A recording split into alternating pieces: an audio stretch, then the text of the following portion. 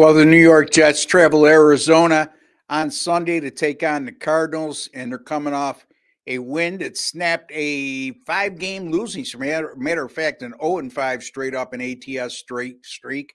Uh, so the Jets are back in business and they're three and six, and they're talking about the playoffs at three and six. Uh, let's hold your horses just a bit for just a little while. The Arizona Cardinals, on the other hand, off to a surprising five and four start. And right now, as we speak, uh, through the tiebreaker, they're the number one team in the NFC West. So, who's going to win this game? Who's going to come out on top?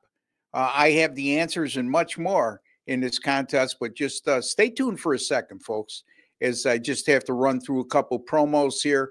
Uh, first of all, if you have not subscribed to our YouTube channel, I don't know what you're waiting for. It's absolutely free. No strings attached. Just hit that subscribe button right below me. It's uh, and you'll be privy to some of the best sports betting experts in all the world right here at Wager Talk TV. And while you're at it, folks, after you subscribe, go into your YouTube settings and click on the alert notification bell for Wager Talk TV, and you'll be notified immediately upon any of our great content going up on our great channel. Also, uh, there's a like button right underneath, folks, and I would kindly ask you hit that like button and uh, it's just a small token of appreciation for the work I put in on these uh, free pick videos, and also makes the people over at Wager Talk TV happy and keeps our free pick videos on Wager Talk TV exactly that free. If not, if you don't want to hit that like button, that's okay. I appreciate you viewing. All right, the New York Jets are a one and a half point road favorite in this contest. The total at 46 and a half Here's the thing: when you see a line like this at one and a half, um, it, obviously the sports books are, are projecting a, a game to be a very evenly an even matchup in a very close game. Uh, so let's survey how these two teams are doing uh, in this season in close games.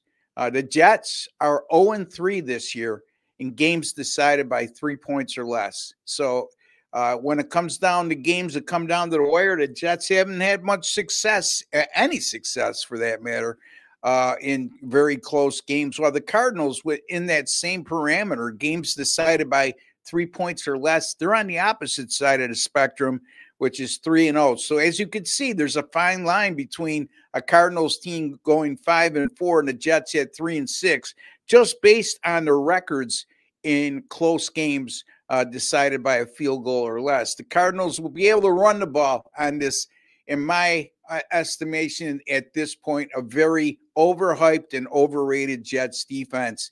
Yes, they have the ability to rush the passer. Yes, they're pretty good against the pass. But on the other hand, uh, stopping the run has been a huge problem for the uh, New York Jets defense.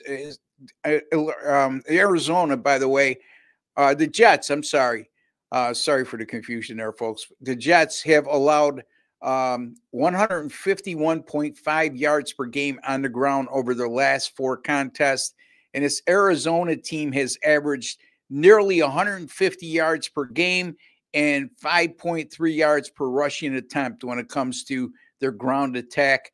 Uh, they've also rushed for 169 yards or more in five of eight games this season. So I look for the Cardinals to be able to control the tempo of this game, control time of possession, uh, be able to run the ball, and open up some opportunities for play action pass for Kyler Murray and his receivers. Uh, the Jets also um, coming off that 21 13 home win versus Houston. And uh, like I said, that snapped a 0 5 straight up an ATS streak that they were on. Uh, the Jets uh, now one and four straight up in ATS on the road this year. Uh, their only one coming in week two at Tennessee. That game last week, by the way, was at home. Uh, so they've struggled on the road. And uh, again, the only team they beat was Tennessee, who I believe at the moment is two, three and six or two and six, somewhere in that area. Not a very good team uh, by any accounts. Arizona is 3 and 0 straight up in ATS in their last three games. They started the year 2 and 4. That's catapulted them to the currently and previously previously mentioned 5 and 4 record. And uh, right now they're plus 105 on the money line. And anytime you have an NFL uh, team Uh, on the money line, it's plus 140 to minus 140, like Arizona is in this contest.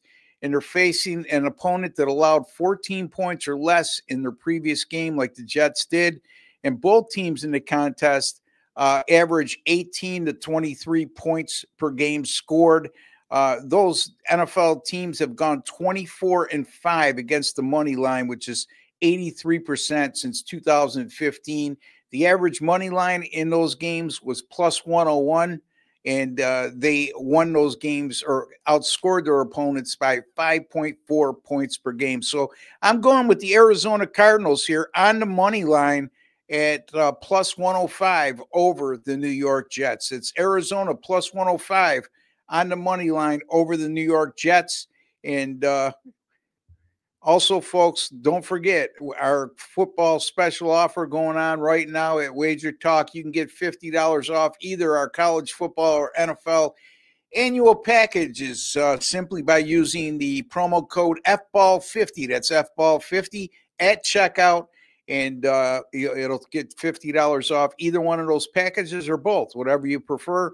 And uh, folks, right now, uh, my packages at my link, wt.buzz slash RB over at Wager Talk.